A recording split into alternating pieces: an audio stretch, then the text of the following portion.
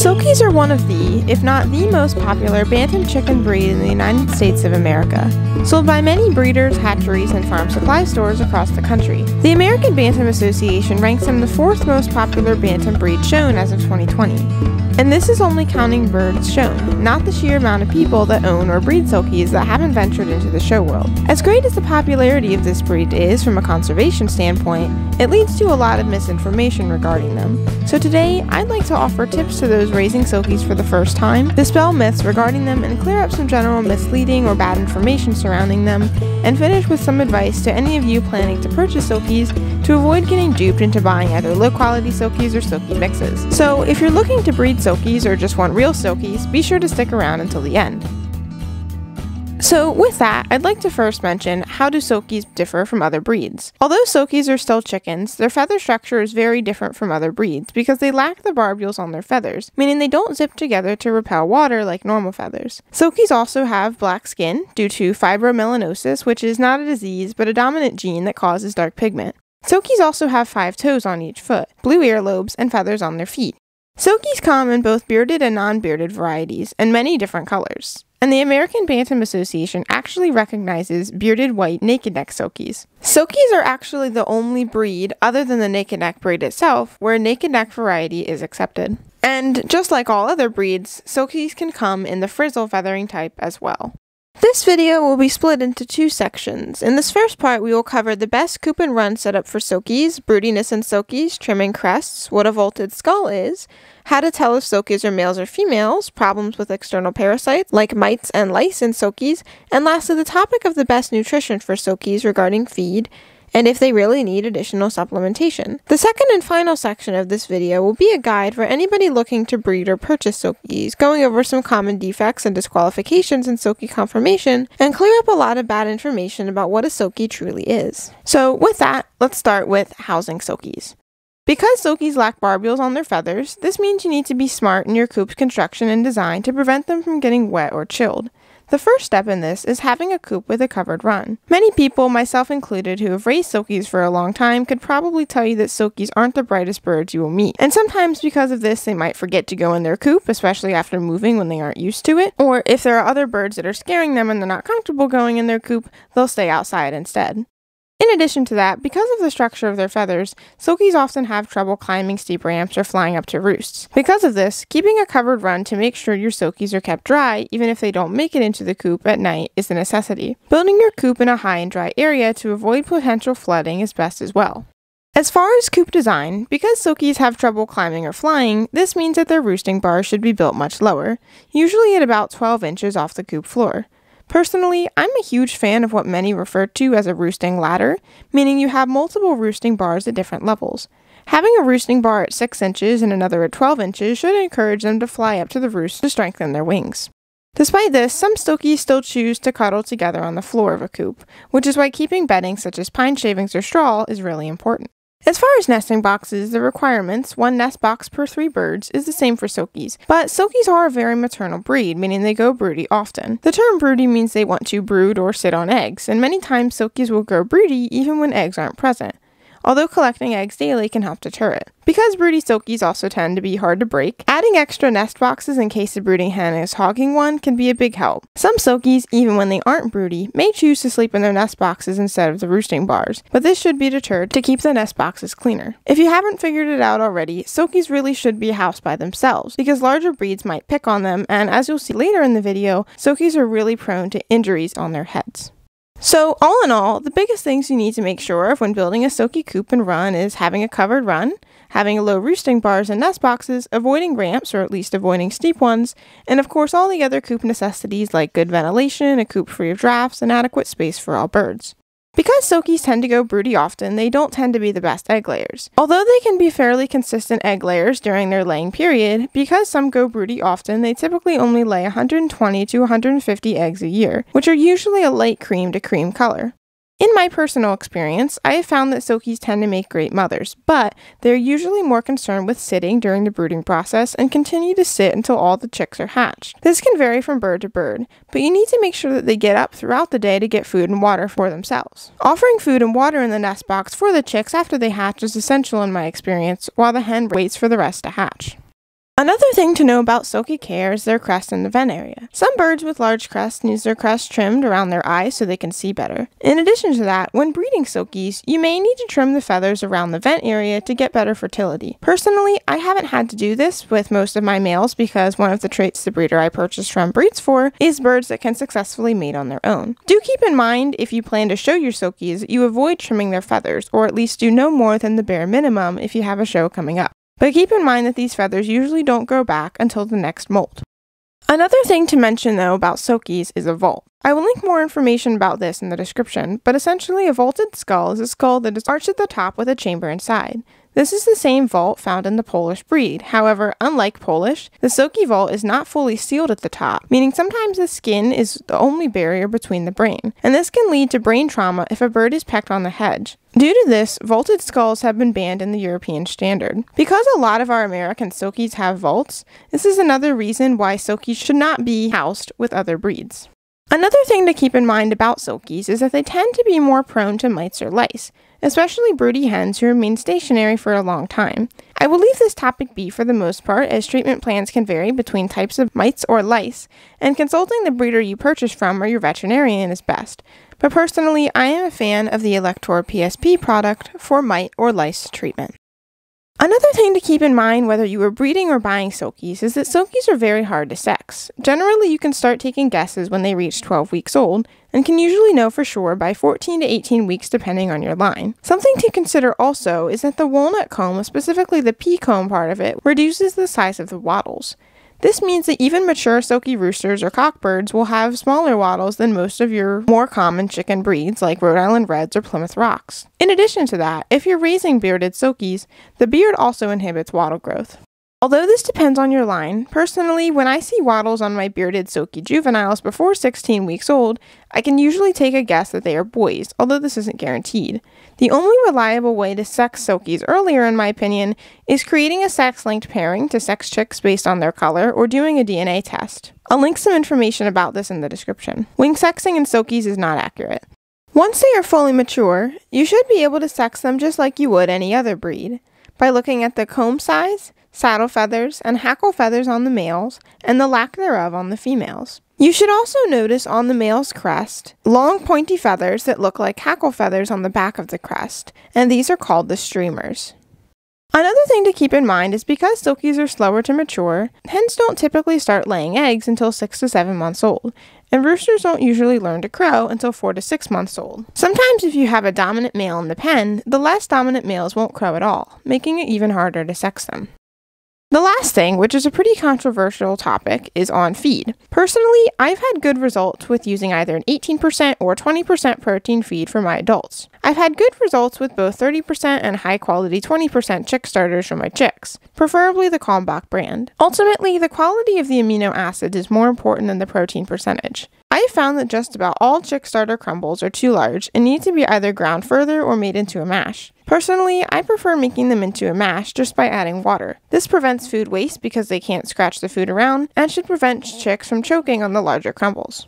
Like my other bantam breeds, I have also found it necessary to house silky chicks for the first couple weeks on a bedding other than pine shavings, because some chicks will eat the shavings and choke. Lately, I have been brooding chicks on automotive paper towels and have found good results with that, although they need to be changed often. Another controversial area is supplements. Personally, I do not give any healthy birds any supplements except for supplemental forage and time to be outside under supervision or in predator proof areas. I do not put vitamins or electrolytes in the water of my chicks or adults. The only time I ever use either of these products is if I have a sick bird or a bird about to undergo a stress such as moving to a new home, moving in with different birds, or occasionally a broody hen.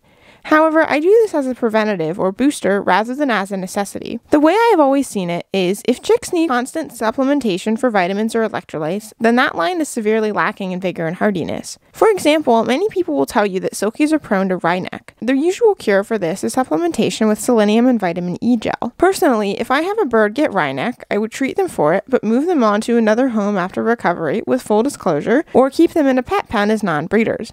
Although this sounds harsh, the reason I do this is because if I use birds that for whatever reason can't metabolize selenium correctly, assuming the issue is genetic and not environmental, All I'm doing is setting myself and my buyers up with Silkies that will require additional supplementation rather than birds that can stay healthy on their own. Any good breeder will tell you that vigor and hardiness are the most important traits when breeding any species. Ultimately, if you're buying silky chicks, the best thing you can do is ask the breeder to see if their birds need additional supplementation or not, and decide for yourself if that is something you want or if you would rather breed for vigor. And with that, those are the general basics of silky care. I know it is a lot to take in, but keeping these tips in mind before and when you're buying silkies can save you from a lot of wasted time and money later on, and give both you and your silkies the best chance of success.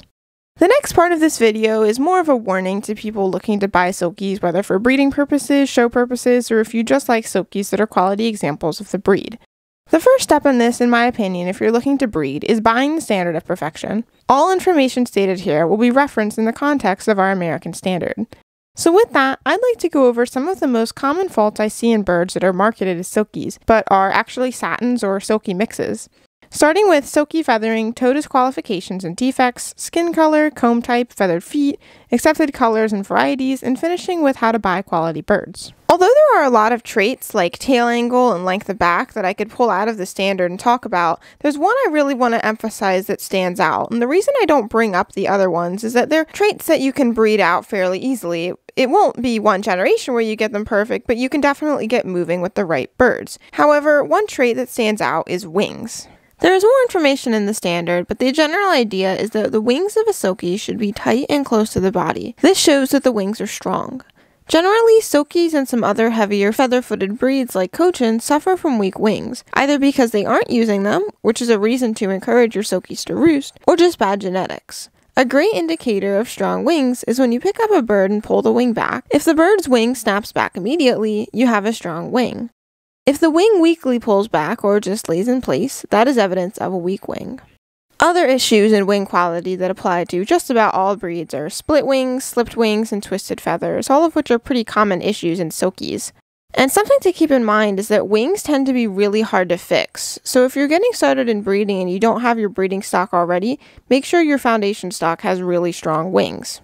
With that out of the way, let's talk about silky feathering. As stated earlier, silkies have feathers that lack barbules, meaning they don't zip together like regular feathers do. And by this definition, there is no such thing as a regular feathered silky. Although they are not yet recognized, many people refer to these birds as satins. Satins are supposed to conform to all aspects of the silky standard except for the fact that they have normal feathering. But again, there is no such thing as a silky with normal feathering. These are either satins that conform to the standard or silky mixes. Another thing to bring up about silkies is toe defects. As stated earlier, silkies should have five toes on each foot. The American Bantam Association states that the absence of a fifth toe, or more than five toes, is a disqualification. However, if a bird is exceptional in all other aspects, it may be worth using that bird as a breeder anyway. The genetics of polydactyly are not fully known, but many breeders will tell you that it is easier to breed out four toes than it is to breed out six. Another thing to consider is toe placement. Although improper toe placement is not a disqualification, it is considered a defect. Silky toes should be spaced as shown in the picture on screen. Pigment holes, or yellow or green pigment on the bottom of the feet instead of being truly black or mulberry or dark violet, is considered a defect as well. The next thing to mention is skin and earlobe color. Silkies should have entirely dark skin due to the fibromelanosis gene. Silkies should also have blue earlobes. The next topic we will discuss is combs. The only accepted comb type for silkies is the walnut comb, which is a combination of two different comb types, the rose comb and the pea comb. I have a video on the genetics of the walnut comb linked in the description for those of you that are interested. Like the skin, the comb should be black or mulberry colored. A single comb is recessive and a disqualification in silkies, and seeing a single comb pop up is a good indication that at some point in the lineage of those birds, a single combed breed was bred in. The next topic is feathered feet. All silkies should have feathered feet. The standard states that the outer and middle toes should be well feathered, and this is something you should be able to see even in newborn chicks. The Bantam standard warns against feet that have no feathering on the middle toe and feet that have too much feathering, leading to stiffness. Both are considered a defect. Currently, as of the 2020 edition of the American Bantam Association's Bantam Standard, silkies are accepted in both bearded and non bearded forms of black, blue, buff, gray, partridge, self blue, which is lavender, splash, and white.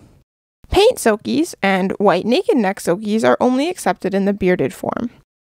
The 2020 edition of the American Poultry Association Standard of Perfection, Silkies are accepted in both bearded and non bearded forms of white, black, blue, buff, gray, and partridge, but splash silkies are only accepted in the bearded form. Keep in mind that both of these associations have a class for non standard variety silkies, meaning that silkies of non accepted colors can be shown and win best of variety, but cannot be awarded best of breed or higher.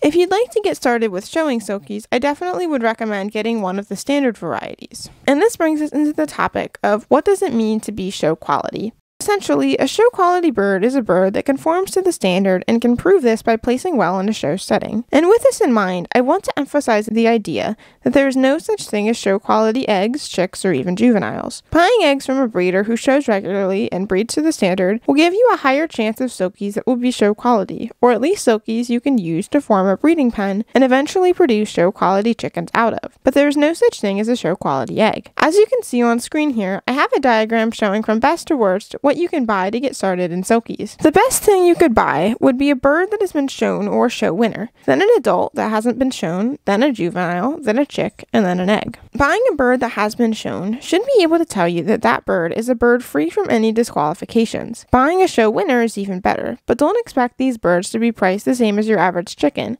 because breeding a show winning bird is quite the challenge. The next best thing you could buy would be an adult. On an adult or mature silky, you can see all the aspects of the bird and judge them against the standard to determine if that would be a good bird to purchase. And the next best would be cockerels or pullets. At this age, you won't be able to see all the aspects of the bird because they are still maturing, but you should at least be able to identify wing defects, toe defects, and pigmentation defects. On a chick, the only thing you will really be able to determine is toe defects, such as extra toes, too few toes, absence of feathering on the middle toe, and pigment holes. Sometimes you can judge beard size or crest size on a chick. Ultimately, you really can't judge any of these things when buying eggs, other than looking at the parents. If you do choose to buy chicks or eggs, understand that more often than not, not all of the chicks you hatch will be show quality. Some may be breeder quality, and some might not even be worth keeping. Generally, people say that you can hatch 100 chicks and should only keep about 5 to 10. And this may sound extreme, but I found this to be true in a lot of cases. Generally, the better the parents are, the better your chances of getting quality offspring are. So, if you must buy eggs in order to get the birds you're looking for, make sure you're getting those eggs from a breeder who regularly shows and is breeding to the standard. All in all, the best place to buy quality silkies would be from a breeder as opposed to a hatchery or farm supply store but not just any breeder, but rather a breeder that has, knows, and breeds towards the standard of perfection and shows in American Poultry Association and or American Bantam Association sanctioned shows. I hope with all this information I haven't scared you away, because as difficult as I make it sound, once you get all the building blocks together, Silkies really are a fun breed with a fun personality. Although they can be fragile at times, with proper care and attention to detail, Silkies can live just as long if not longer than any other chicken breed out there. Overall, they make very good sitters, great moms, and are a lot of fun to raise. Thank you so much for watching, and I will see you in the next video.